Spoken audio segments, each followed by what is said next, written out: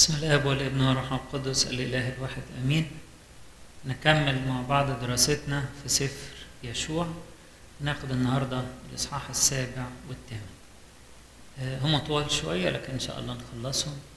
آه، الحقيقة الإصحاحين دول من أهم الإصحاحات بالذات الإصحاح السابع من أهم الإصحاحات اللي في السفر كله. لأنها فيها حادثة خطيرة وبتكشف إزاي ربنا يبقى معانا وإيه اللي يخلي ربنا يفارقنا. وكانت يعني آه، فيها سقطة وفيها توبة. وتعلم الشعب منها قيمة كبيرة جدا. هي إنه أي انتصار هم فيه مش حاجة كده for granted يعني واخدينها واخدينها. ولكن دي نتيجة عمل ربنا اللي ما بيحصلش إلا في حالة التقديس في حالة التوبة. من غير التوبة الإنسان ينهار ونعمة ربنا تفرق. هنقرأ مع بعض الإصحاح السابع الأول. طبعا إحنا كنا واقفين إنه يشوع دخل أريحة واتهدمت الأسوار. زي ما ربنا وصاهم قال لهم تدوروا حواليها كل يوم دورة وفي اليوم السابع تدوروا سبع مرات. اليوم السابع ده إشارة للإنسان يدي كل قوته لربنا في اليوم السابع. وكل يوم دورة إشارة إنه الإنسان يعمل جهده كل يوم. وبعدين وقعت الأسوار وربنا كان قايل لهم ما تاخدوش منها أي حاجة كل حاجة تبقى لربنا. كل حاجة موجودة يعني من المقتنيات تروح لربنا نشوف كده حصل إيه. وخان بنو إسرائيل خيانة في الحرام. فأخذ عاخان ابن كرمي ابن زبدي ابن زارح من سبط يهوذا من الحرام. فحمي غضب الرب على بني إسرائيل. دول دي أول آية وده دي المشكلة. المشكلة هنا إنه بيقول لك خان شعب إسرائيل بنو إسرائيل خيانة في الحرام. يعني إيه خيانة في الحرام؟ كسر الوصية هو خيانة كسر الوصية هو خيانة عدم الطاعة لصوت ربنا هو خيانة والحرام يعني حاجة المفروض محرمة الواحد ما يعملهاش عملها.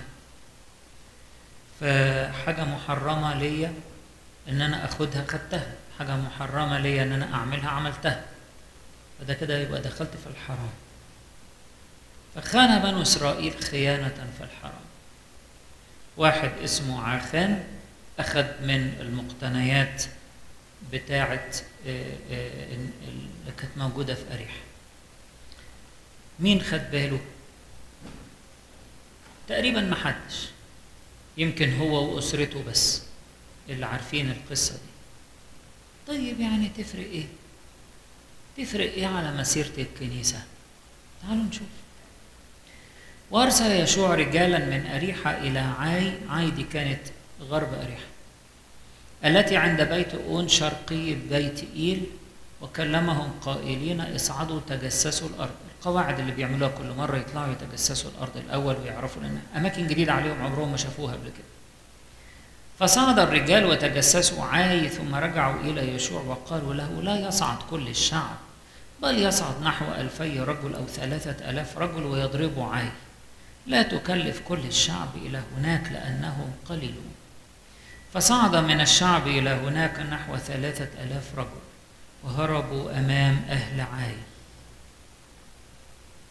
فضرب منهم أهل عاي نحو ستة وثلاثين رجلا ولحقوهم من أمام الباب إلى شبراء شباريم وضربوهم في المنحدر. فذاب قلب الشعب وصار مثل الماء. شعب إسرائيل. فمزق يشوع ثيابه وسقط على وجهه إلى الأرض أمام تابوت الرب إلى المساء هو وشيوخ إسرائيل ووضعوا ترابا على رؤوسهم. وقال يشوع آه يا سيد الرب لماذا عبرت هذا الشعب؟ الأردن تعبيرا لكي تدفعنا إلى يد الأموريين ليبيدونا؟ ليتنا ارتضينا وسكننا في عبر الأردن. أسألك يا سيد ماذا أقول؟ بعدما حول إسرائيل قفاه أمام أعدائه فيسمع الكنعانيون وجميع سكان الأرض ويحيطون بنا ويقرضون اسمنا من الأرض. وماذا تصنع لاسمك العظيم؟ الله. طبعا أول مرة في تاريخهم من بعد ما خرجوا من مصر إنهم يتكسروا. أول مرة ينكسروا في حرب. ويموت منهم 36 واحد. قرية عاي قرية صغيرة تعمل فينا كده. ده الجواسيس لما راحوا قالوا له لا لا ما تكلفش نفسك. 2003 يروحوا يخلصوا عليه. حتة قرية صغيرة. واستهانوا بيها.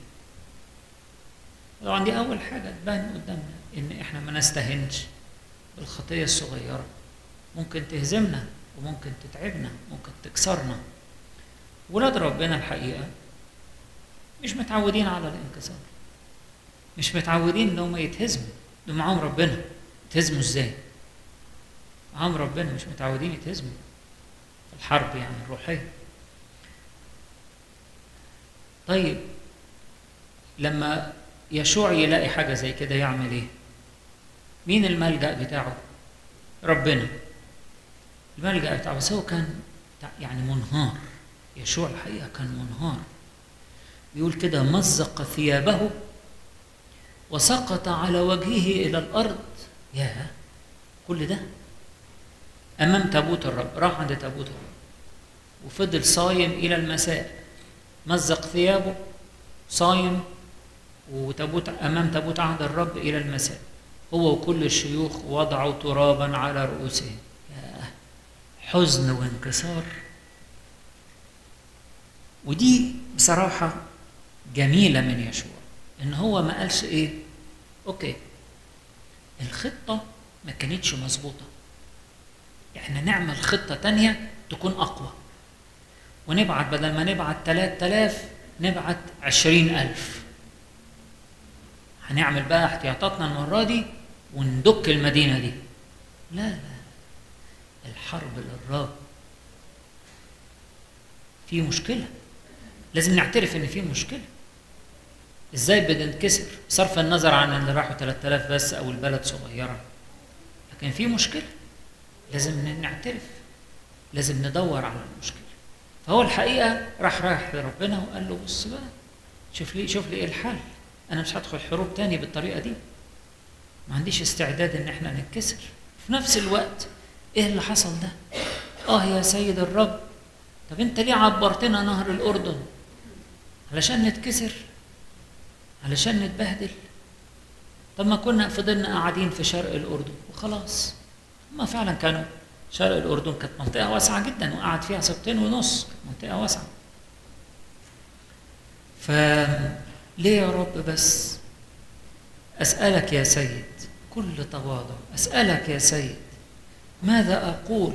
هقول للناس إيه؟ الناس قلبها ذاب. يقول لك شوف قلبهم ذاب مثل الماء صار مثل الماء قلب الشعب صار مثل الماء يعني عارفين اللي يقول لك ركبهم ثابت؟ خايفين خالص. بقوا زي الميه ماذا أقول بعدما حول إسرائيل قفاه أمام أعداء؟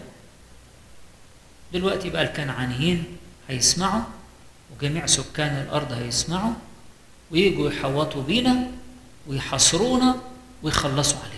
يقرضون اسمنا من الأرض. إحنا كده دي البداية يبقى إحنا كلنا هننهار طب وبعدين؟ وبعدين راح حاطط حتة كده في الآخر جميلة. قال له إيه؟ وماذا تصنع لاسمك العظيم؟ طب إحنا وحشين طب إحنا ما نستاهلش. طب واسمك؟ مش إحنا تحت اسمك؟ مش إحنا شعب تحت الراية بتاعتك وتحت اسمك؟ طب يا رب ترضى اسمك يتهان. ترضى لما إحنا نتبهدل يبقى اسمك. معرفش يحمينا. معرفتش تدخلنا. ماذا تصنع لاسمك العظيم؟ بيتشفع باسم ربنا العظيم اللي هم تحت هذا الاسم. زي ما إحنا كده دايما نصلي كل شوية ونقول له حل واغفر واصفح لنا. ومن أجل اسمك القدوس الذي دعي علينا.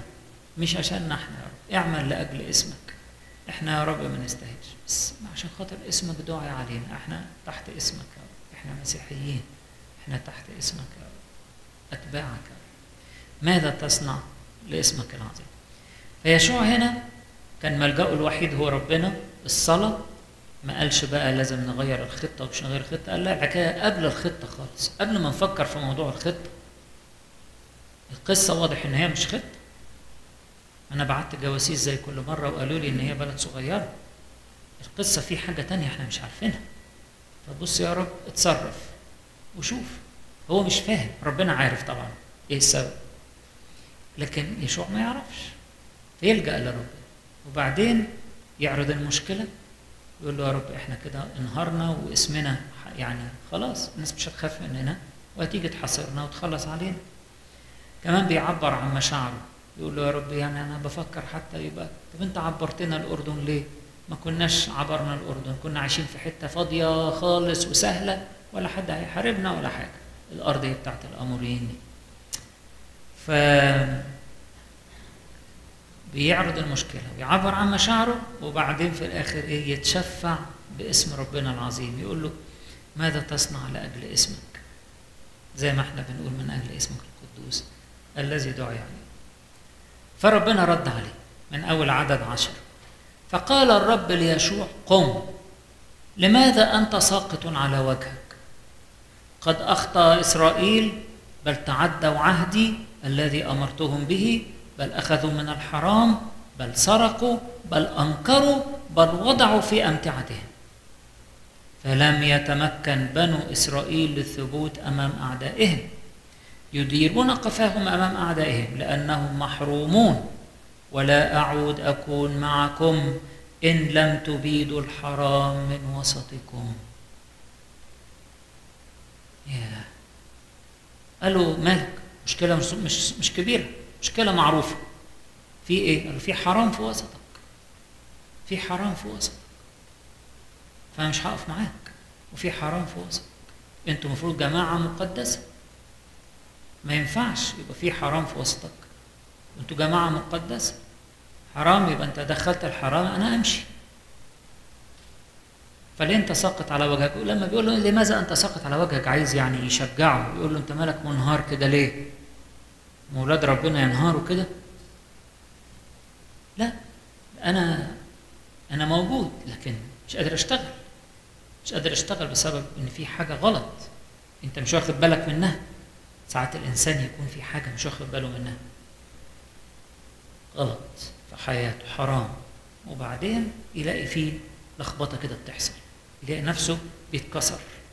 يتكسر في أي مشكلة في مواجهة في في موضوع يلاقي الدنيا كده. آه يرجع يراجع نفسه بقى. ويدور يشوف فين الحرام. يشوف فين الحرام وينزع الحرام. فبيقول كده.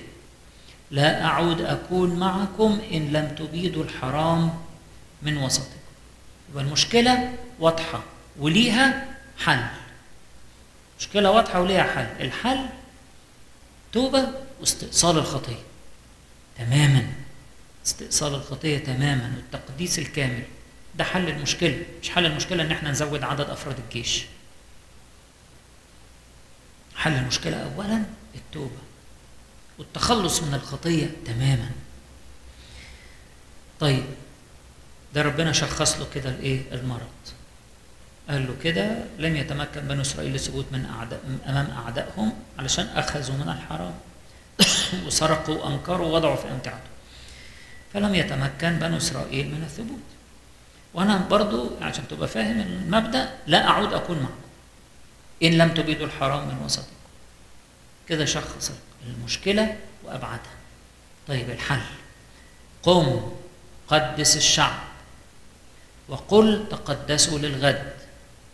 لأنه هكذا قال الرب الإله في وسطك حرام يا إسرائيل فلا تتمكن للثبوت أمام أعدائك حتى تنزعوا الحرام من وسطكم. في خطية بين الناس صغيرة لا فيش حاجة اسمها صغيرة دي ممكن تستنزف الإنسان. بعيد عننا لما يكون مثلا في حادثة. واحد اتعور. لو ما تلحقش هيفضل ينزف لحد لما إيه؟ يموت. تقول لي دي كانت تعويرة صغيرة في رجله. ده كسر صغير في جرح كده وما تلحقش. فضل ينزف ينزف ينزف لحد لما مات. مفيش حاجة اسمها خطية صغيرة. خطية تستنزف الإنسان. ما ينفعش إن إحنا نسيبها. ما ينفعش نسيبها. بصوا قبل ما أكمل عايز أنقل على العكس العكس عشان دي حاجة هتفرحنا. العكس بالظبط. العكس صحيح. الإنسان اللي متقدس لربنا بيكون سبب بركة للجماعة كلها. زي ما في واحد تسبب في دخول الحرام وخلى الجماعة كلها تتهزم وتتكسر برضه الإنسان اللي عنده إيمان اللي ماسك في ربنا اللي اللي عنده استعداد يقدم نفسه لربنا وربنا يشتغل بيه ممكن يكون سبب بركة للجماعة كلها للكنيسة كلها. دايما عايزكم تفتكروا المثلين واحد من العهد القديم وواحد من العهد الجديد. المثلين دول جمال جدا. علشان إحنا نفسنا نكون زيهم. أول مثل داوود في مواجهة جلياط. داود ما عندوش خبرة في الحرب. والراجل مرعب. وشاول بقى مرعوب وكل جبابرة الحرب الرجالة بتوعه مرعوبين. مش قادرين بقى لهم 40 يوم يطلع يشتم فيهم مش قادرين يقربوا. مفيش واحد متقدس لربنا. جه الولد ده الشاب الصغير خالص ده. ما عندوش خبرة بالحرب اللي لما لبسوه لبس الحرب ما عرفش يتحرك. قال لهم مش قادر أنا لم أجربها من قبل. سابها. واحد كان سبب انتصار للشعب كله وللأمة كلها. وجلياط يقول له أنت جاي لي بإيه؟ قال له أنا جاي لك باسم رب الجنود. أنت تأتي إلي بسيف ورمح وترس وأنا آتيك باسم رب الجنود اله صفوف إسرائيل الذين عايرتهم. فواحد ممكن يكون سبب بركة للكنيسة لأن العدو بتاعنا كلنا عدو مشترك.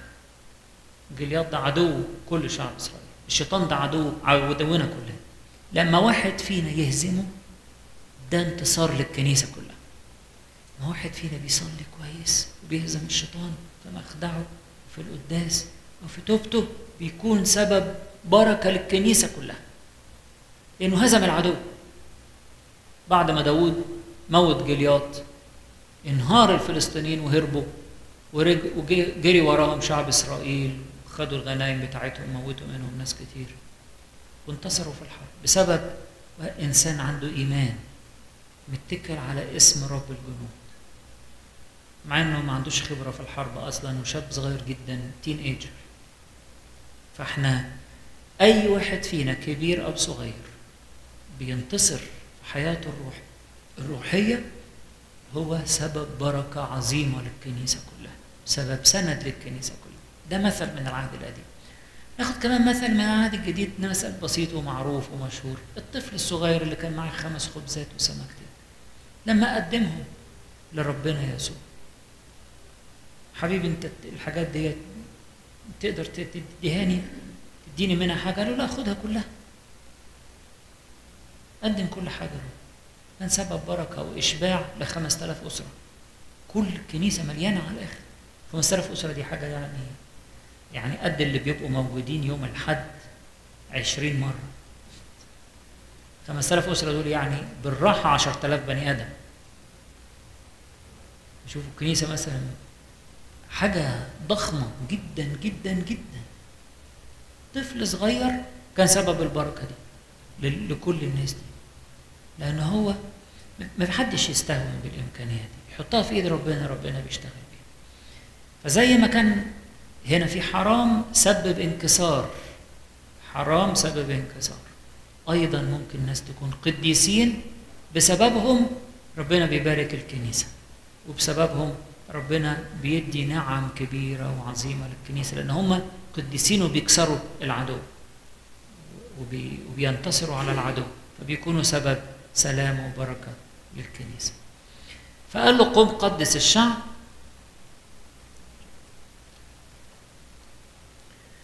وقل تقدسوا للغد وقول لهم كده وصيهم في وسطك حرام يا إسرائيل. فلا تتمكن للثبوت أمام أعدائك حتى تنزعوا الحرام من وسطك. طيب إيه الخطة يا رب اللي أنت تفرز لنا الحرام؟ قال أنا هفرزه ده برضو يورينا إن إحنا أحيانا ما نعرفش نشوف بنفسنا. لازم نصلي ونقول له يا رب اكشف لي يا رب العيوب. اكشف لي العيوب. زي ما بيقول داود في المزمور اختبرني يا الله واعرف قلبي امتحني واعرف أفكاري وانظر إن كان في طريق باطل واهدني طريقا ابديا. فربنا قال له أنا هقوم بالمهمة دي اجمع لي الناس. فتتقدمون في الغد باسباطكم ويكون أن السبط الذي يأخذه الرب يتقدم بعشائره والعشيرة التي يأخذها الرب يتقدم ببيوتها. والبيت الذي ياخذه الرب يتقدم برجاله ويكون المأخوذ بالحرام يحرق بالنار هو وكل ما له لأنه تعدى عهد الرب ولأنه عمل قباحة في إسرائيل. فأساس قوتنا إن ربنا موجود معانا ووقوفه في صفنا. وإذا كان في حرام في وسطنا هيفارقنا فبكر يشوع في الغد وقدم إسرائيل بأسباطه فأخذ سبط يهوذا. ثم قدم قبيلة يهوذا فأخذت عشيرة الزارحيين. ثم قدم عشيرة الزارحيين برجالهم فأخذ زبدي. برجالهم يعني البيوت بتاعت كل رجل وأسرته يعني. فأخذ زبدي فقدم بيته برجاله فأخذ عاخان بن كرمي ابن زبدي ابن زارح من سبط يهوذا. فقال يشوع العاخان يا ابني أعطي الآن مجدا للرب إله إسرائيل واعترف له واخبرني الآن ماذا عملت. لا تخفي عني. أعطاله الفرصة أن هو يعترف عشان ما يبقاش حد يفكر يعترف قدام الناس كلها عشان ما حدش يفكر إن هو بيظلمه.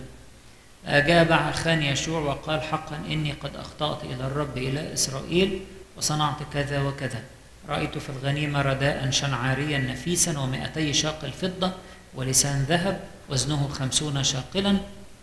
يبقى رداء وفضة وذهب فاشتهيتها وأخذتها وها هي مطمورة في الأرض في وسط خيمتي والفضة تحتها. فأرسل يشوع رسلا فركضوا إلى الخيمة وإذا هي مطمورة في خيمتي والفضة تحتها. كقاضي لازم يجيب الأدلة ويشوف ويتحقق.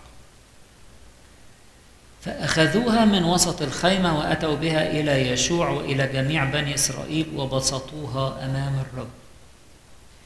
فأخذ يشوع خان بن زارح والفضة والرداء واللسان الذهب وبنيه وبناته وبقر وحمير وغنم وخيمته وكل ما له وجميع إسرائيل معه. يشوع أخذ عخان والناس دي والكل ما له وأخذ كمان معاه جميع إسرائيل. وصعدوا بهم إلى وادي عخور فقال يشوع كيف قدرتنا يقدرك الرب في هذا اليوم؟ فرجمهم جميع إسرائيل بالحجارة وأحرقوهم بالنار ورموهم بالحجارة وأقاموا فوقه رجمة, رجمة حجارة عظيمة إلى هذا اليوم فرجع الرب عن حمو غضبه ولذلك دعي اسم ذلك المكان وادي عخور.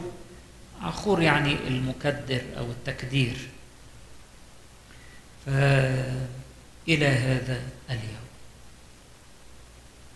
طبعا ليه بياخد يشوع وكل أسرته؟ هو عايز يقول لنا لازم نبيد الخطية وكل فروعها كل جذورها كل ما يتبقى من أثرها كل ما يذكرنا بها. نبيد الخطية بالكامل نقطع بالكامل. طبعا الأسرة كمان ممكن إن هي ساعدته يعني. ده ده احتمال كبير. كل الناس دي المفروض ساعدوه في إن هو يشيل الكميات دي والحاجات دي كلها واشتركوا معاه في الخطية. فهو يشوع نفذ زي ما ربنا قال له عشان يبيد الخطية بالكامل. يبيد الخطية. تنقية كاملة مش مش جزئية تنقية كاملة. يعني إحنا برضو في توبتنا لازم نفكر. نقي يعني نقي نقفل السكة دي يعني نقفل السكة. نتخلص من تماما يعني تماما. مش تفضل كده حاجة ديل للخطية وزي ما ربنا برضو قال له يتحرقوا بالنار يتحرقوا بالنار علشان يوري له إن الله نار آكلة. تحرق الخطية تمام وتترك ما هو صالح. خطية النار تشيل الشوائب لكن تخلي الذهب زي ما هو ذهب. لكن تحرق الشوائب. فالله كده. نار هو نار في وسط الشعب الشعب كله اللي عايش بينفذ الوصية مظبوط ومقدس الشعب يبقى كويس وسليم لكن اللي, عايشين في الخطية دول اللي يتحرقوا بالنار. وبدون التوبة بدون التنقية دي الدنيا كلها هتتعاقب. من غير توبة ربنا يفارق الشعب من غير توبة في حياتي مش هيكون في حياتي حاجة صالحة. كل حاجة هتتلوث. كل حاجة هتتلوث دي قصة عخان والخيانة اللي عملها والاستهتار اللي, اللي عمله استهان بوصية ربنا. وده زي ما قلت في الأول يكشف لنا إن إحنا ما نستهونش بأي حاجة صغيرة في حياتنا ممكن تكون سبب تعب وانكسار في حياتنا. نشوف بقى بسرعة الإصحاح الثامن برضو إيه ربنا بيقول له تعالى بقى تشوف الوضع بتاعك بعد التوبة. بعد التوبة الوضع مختلف. بسبب وجود الخطية انكسار ومهانة والتراب فوق رأس رأسهم وممزقين ثيابهم. تعالوا نشوف بقى بعد التوبة في قيامة وفي قوة وفي انتصار. فقال الرب ليشوع لا تخف ولا ترتعب. خذ معك كل جميع رجال الحرب وقم اصعد إلى عاي انظر قد دفعت بيدك ملك عاي وشعبه ومدينته وأرضه. بعد التوبة يتبدد الخوف وتحل الشجاعة.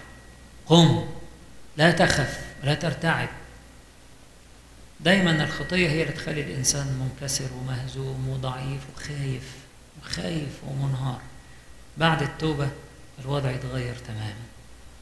خد معك جميع رجال الحرب يعني الإنسان الشاطر ما يحاربش كده إيه باستهانة يحشد كل قوته. يحشد كل قوته. مش مش يقعد كده يوفر. لا مش مشكلة يعني مش لازم الواحد يعني يصلي كل ده مش لازم الواحد يعمل. مش هتفرق كتير. لا الواحد يجاهد بكل قوته. زي ما ربنا عطيله بكل قوته يجاهد. يحشد كل قوته اللي ربنا عطاها ما يتخاذلش وربنا بيقول له أنا دفعت إليك ملك عالي إله السماء يعطينا الإيه؟ النجاح. يبقى دي البداية. أنا ده خلاص دفعته لإيدك. بس طبعا إيه؟ هتشتغل وهتحارب وهتعمل خطة. مش دفعت يعني خلاص يعني أنت وأنت نايم هيجي لك لحد عندك تحت رجليك. لا طبعا مش هيحصل كده. السماء محتاجة جهاد. فتفعل بعاي وملكها كما فعلت بأريحة وملكها. غير أن غنيمتها وبهائمها تنهبونها لأن لنفوسكم.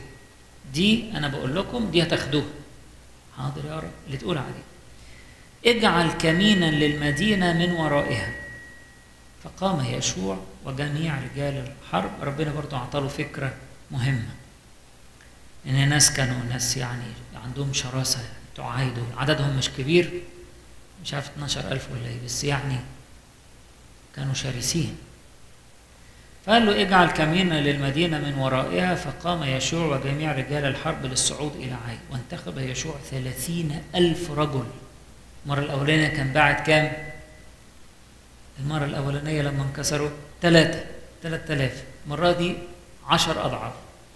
ثلاثين ألف رجل جبابرة البأس وأرسلهم ليلاً. وأوصاهم قائلا انظروا أنتم تكمنون للمدينة من وراء المدينة.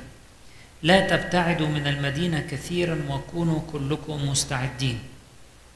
وأما أنا وجميع الشعب الذي معي فنقترب إلى المدينة ويكون حينما يخرجون للقائنا كما في الأول أننا نهرب قدامهم فيخرجون وراءنا حتى نجذبهم عن المدينة لأنهم يقولون إنهم هاربون أمامنا كما في الأول فنهرب أمامهم.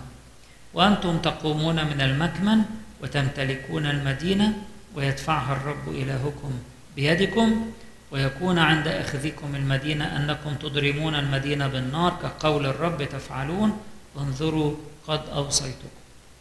فأرسلهم يشوع فساروا إلى المكمن ولبثوا بين بيت إيل وعاي غربي عاي. وبات يشوع تلك الليلة في وسط الشعب. قبل ما أكمل في بعض الناس ممكن تسأل تقول يعني تلاتين ألف واحد. هيروح هيروحوا يبيتوا في ظهر المدينة. ومحدش هياخد باله منهم.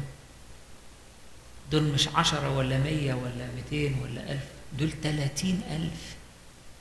إزاي مش هيبان؟ كان في حد يعني من بيدرسوا في الكتاب المقدس وال والجغرافيا بتاعت الكتاب المقدس المنطقة وجاب لنا صورة كده لطيفة. المنطقة بتاعت عاي. في زي جبل في, في شمال عاي شمال غرب عاي. في زي جبل وراه وادي وادي ضخم. الوادي ده يساع مش 30 ألف يساع أكتر يساع 50 ألف. وادي كبير جدا.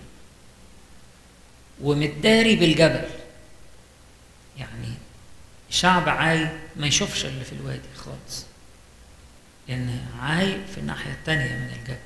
فهم الثلاثين ألف دول راحوا في الوادي ده ولفوا ودخلوا الوادي ده واستنوا هناك. واللي بيفصلهم عن عاي حتة جبل بسيط كده بس ما يكشفش الرؤية خالص.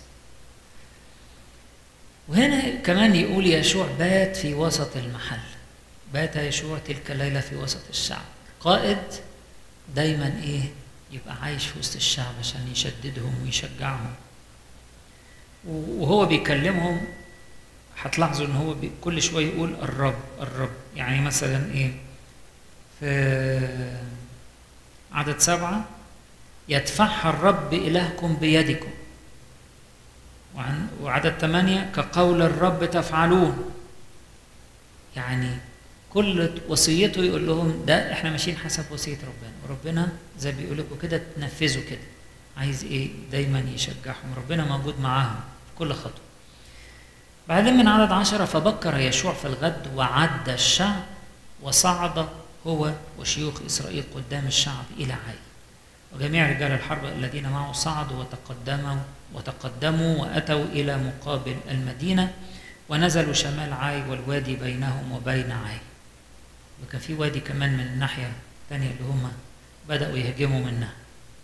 بكر يشوع تبكير عد الشعب نظام دقيق وصعد يبقى في صعود وبعد كده تقدم بشجاعة ورايح يحارب ناس في منتهى الشراسة دي خطوات حلوة في الجهاد الروحي.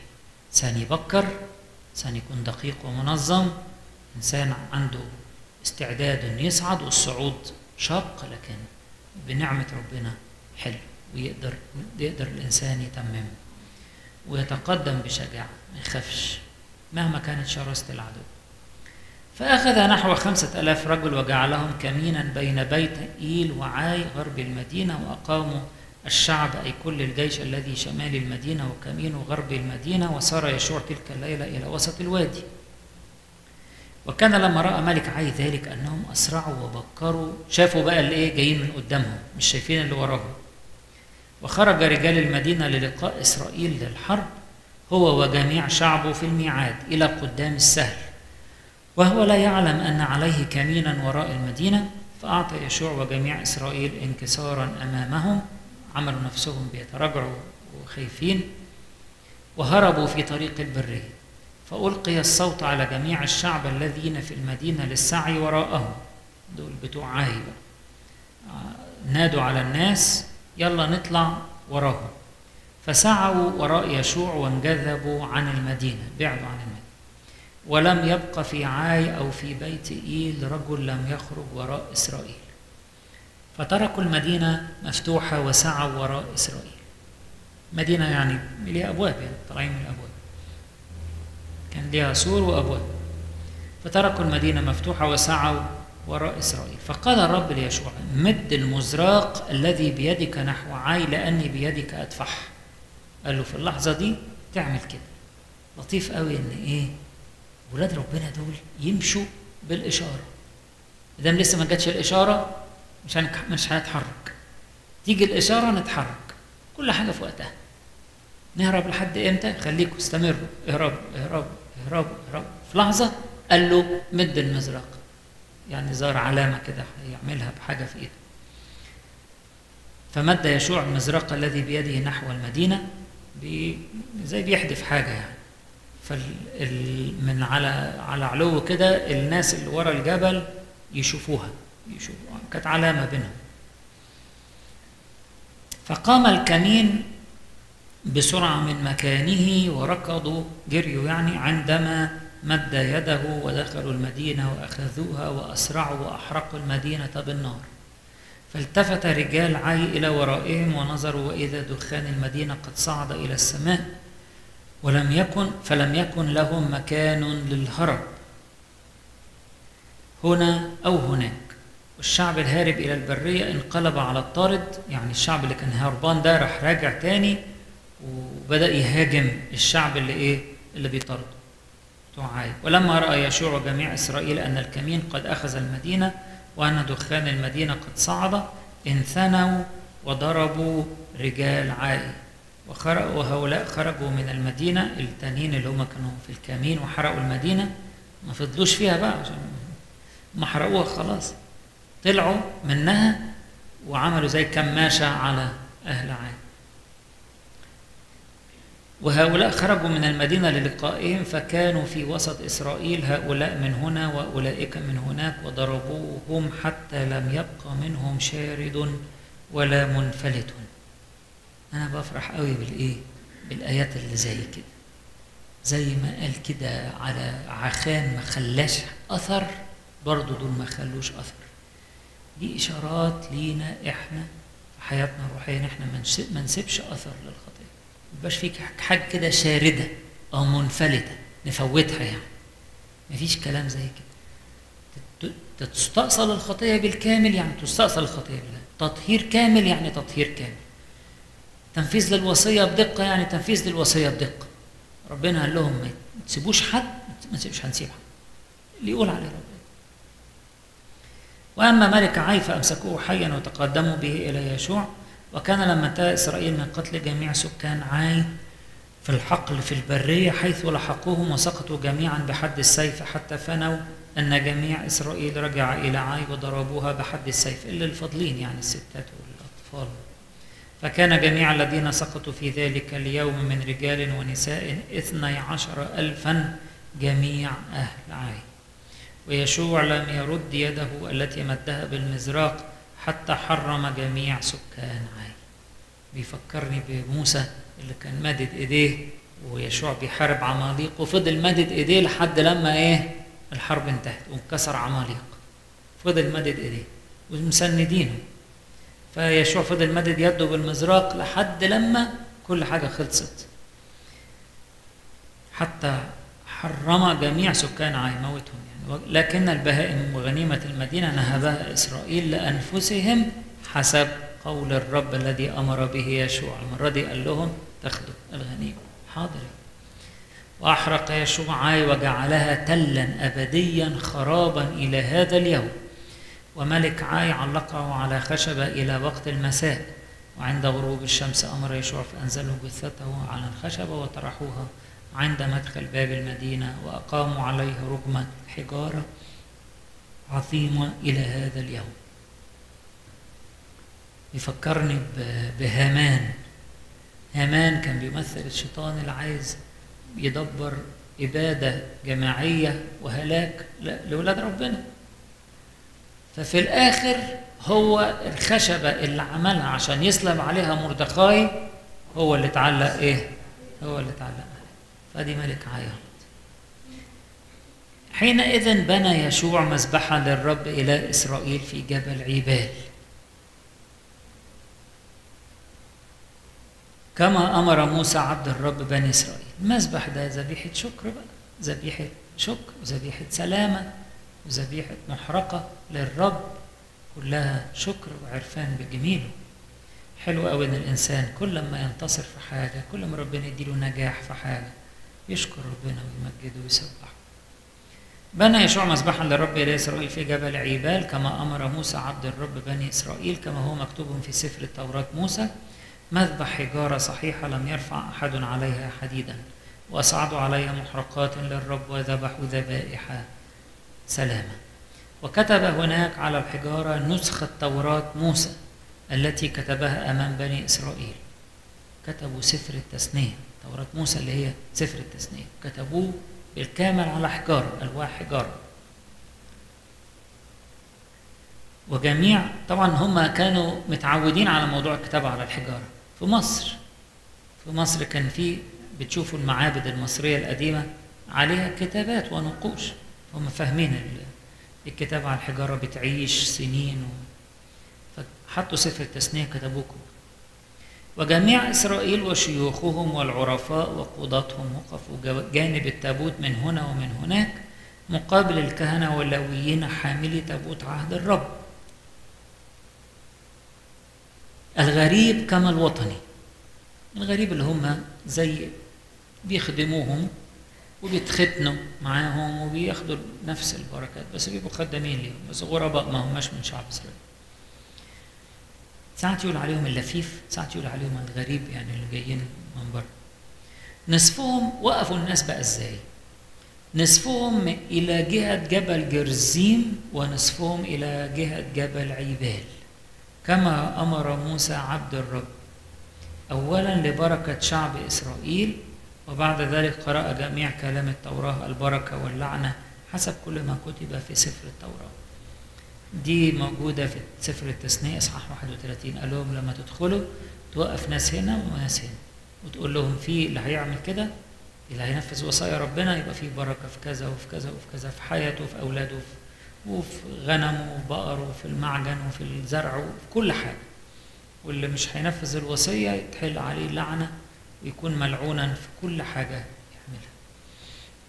وبيعمل لهم التصوير التمثيلي ده يعني يوقفهم على جبل جرزيم وجبل عيبال ويديهم البركة واللعنة عشان يقول لهم كده. ده غير ده. اللي هيعمل كده هيبقى في الجنب بتاع البركة. اللي هيعمل كده يبقى في الجنب بتاع اللعنة زي ما في السماء. في اليوم الدينونة هيقول تعالوا إلي يا مبارك يا أبي ياخد دول عن يمينه والتانيين عن إيه؟ عن يساره. فكان ده يعني يعني زي وضع تمثيلي يشرح الفكرة.